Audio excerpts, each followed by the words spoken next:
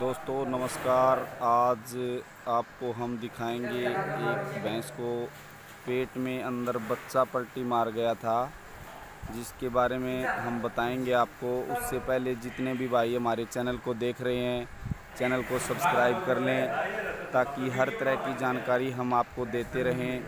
देख सकते हो दोस्तों, ये बच्चा पेट में घूम गया था अंदर, और चार आदमी लगे हुए हैं। इसको बाहर निकालने के लिए पहले डॉक्टर ने इसको सीधा किया है। इसकी जो गर्दन थी वो नीचे इसकी लेवटी की तरफ़ गई थी। देख सकते हो कितना ज़ोर लगा रहे हैं। चार आदमी लगे हुए हैं।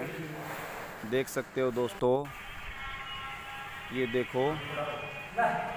अभी निकाल दिया है इसको डॉक्टर ने। इसके जो मुँह में पानी है वो निकाल रहे हैं। पूरा बच्चे को बाहर नहीं निकाला है अभी। ये देखो दोस्तों, बहुत बार ऐसी ऐसी समस्या आ जाती है। उस टाइम पे हमें डॉक्टर का सहारा लेना पड़ता है, देख सकते हो। ये डॉक्टर साहब ने इसके नीचे का जो सूंड बोलते हैं, उसको कट किया है। उसमें थोड़ा सा खून आ रहा था। भैंस अपने बच्चे को चाट रही है अभी।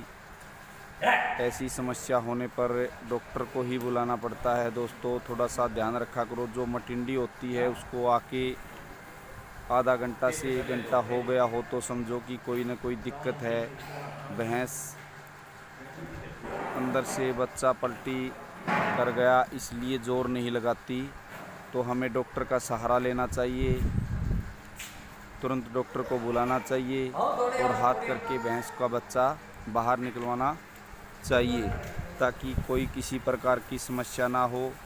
नहीं तो अक्सर कई बार बच्चा पेट में भी मर जाता है, उससे भैंस को भी खतरा रहता है। देखो दोस्तों, सभी भाइयों को ये वीडियो देखने के लिए राम राम। वीडियो पसंद आई हो तो कमेंट में ज़रूर बताना। नमस्कार।